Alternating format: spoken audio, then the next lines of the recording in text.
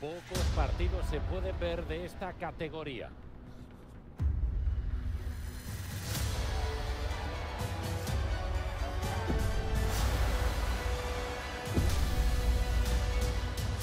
Las aficiones rugen, el balón rodará en breve. Todo en EATV.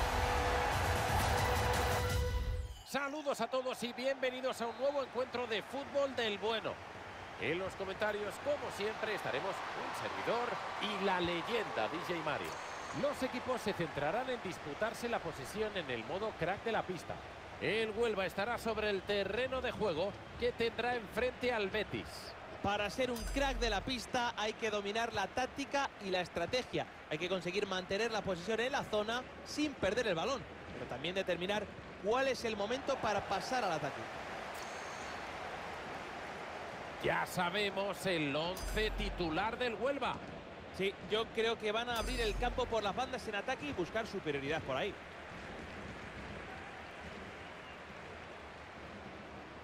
Veamos quién juega hoy en el Betis. Sí, buscarán abrir la defensa por banda y encontrar espacios, ya sea con balones al área o a la espalda. Seguro que hay goles.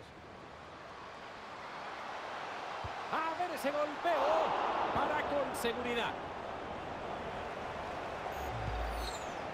Esa parada ha valido literalmente lo mismo que un gol. No van perdiendo desde los primeros minutos porque la portera ha estado acertadísima. Ahora les toca el ataque y probar suerte en la portería contraria. Sacan el balón de la zona de peligro. Eso que acaba de hacer está al alcance de muy pocas.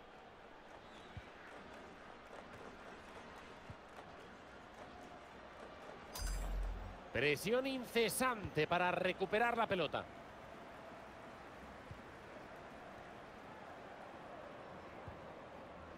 Nana. Carmen Álvarez. Gran robo de balón para frustrar el ataque rival.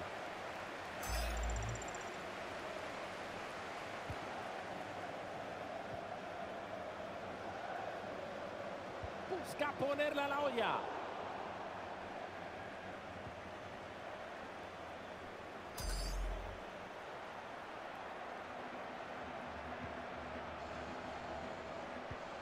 Carmen Álvarez. Se queda sin oposición. Ese balón entró. Gol, gol, gol, gol, gol, gol, gol, gol, gol, gol, gol. Ya tenemos aquí el primero del encuentro.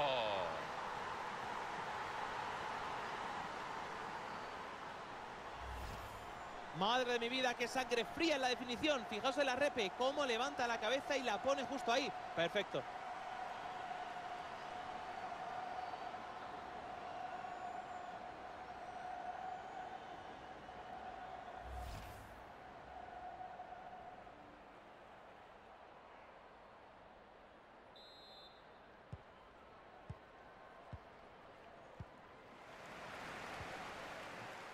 El Huelva será quien saque desde la banda.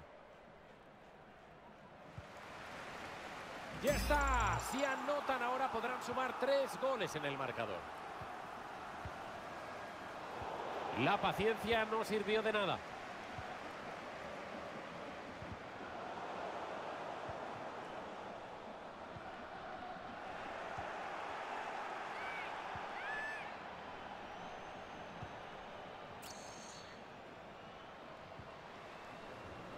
Hay saque desde el lateral para el Betis.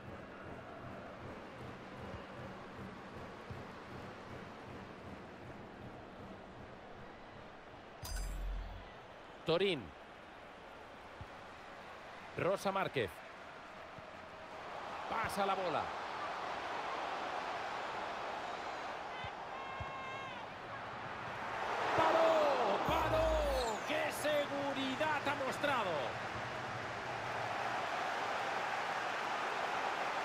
Posesión para el equipo contrario. El descanso ya está casi ahí y el equipo local está palmando. ¿Qué te ha parecido, Mario? Sobre el césped hemos tenido equipos muy serios y con las ideas bastante claras de lo que impide el partido en cada fase. No creo que haya muchos cambios al descanso.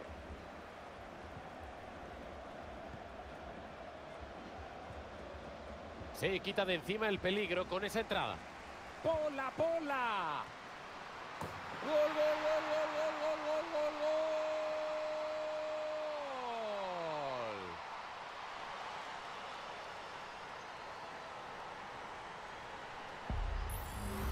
Y aquí vemos el gol repetido. Ha superado a su marca con mucha facilidad. Y el remate de cabeza ha sido para proyectarlo en las escuelas de fútbol.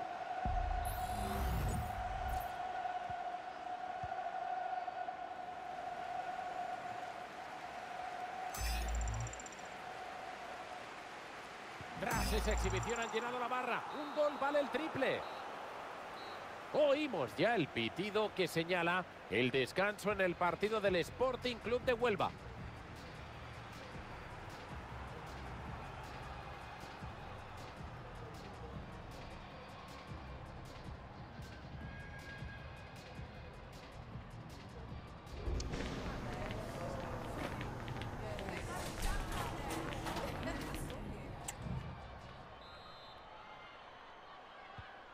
Ambos equipos ya han salido de la caseta. ¿Qué nos deparará la segunda mitad?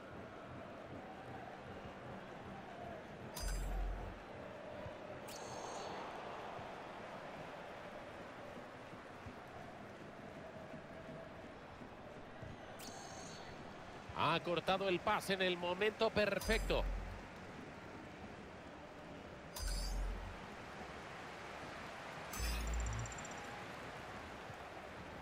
Carvajal.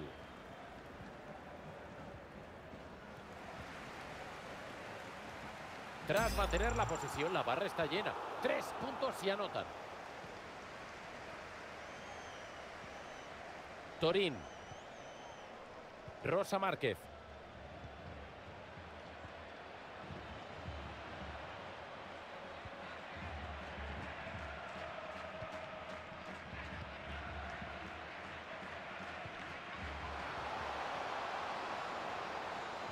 Si la robas ahí, te ahorras mucho.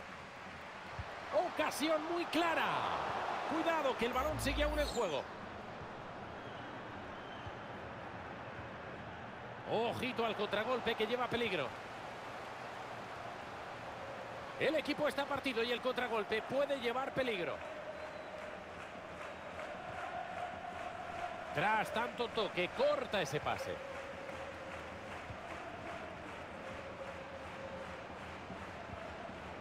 Torín. Nana.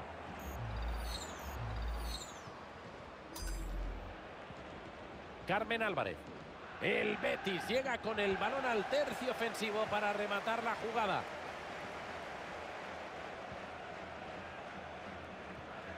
Rosa Márquez. Rebota el disparo y se va el peligro. Sacarán de puerta después de que ese balón se perdiera por la línea. Van a efectuar un cambio.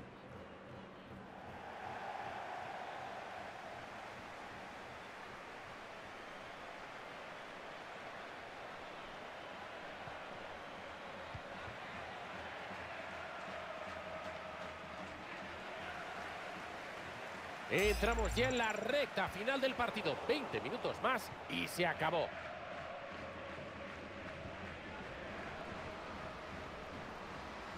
Esto sí que es fútbol.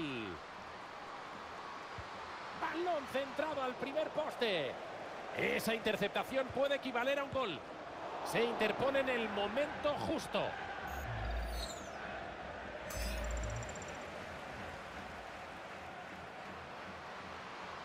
Sigue avanzando, puede haber peligro.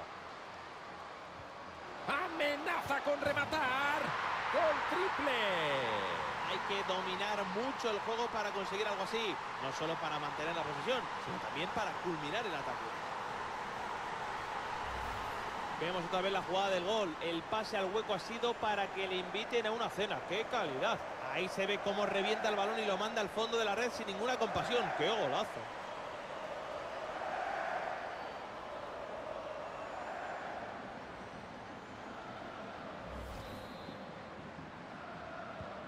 Se reanuda el juego con muy poco tiempo por delante y se acaban de adelantar en el marcador.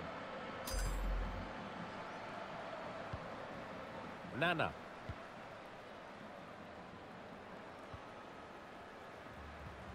Sale la caballería, van por el empate, van por el empate. Llevaba el gol entre ceja y ceja, pero se lo han parado. Esta vez no ha conseguido hacer gol. Si quieren empatar deberían ir a por todas en este córner. Bien, el equipo acabando con el peligro.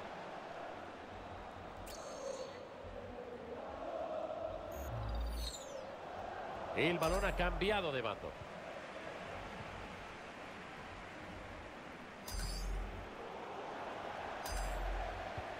Vamos, que esto ya termina. Solo cinco minutos más. Sigue, sigue, busca puerta.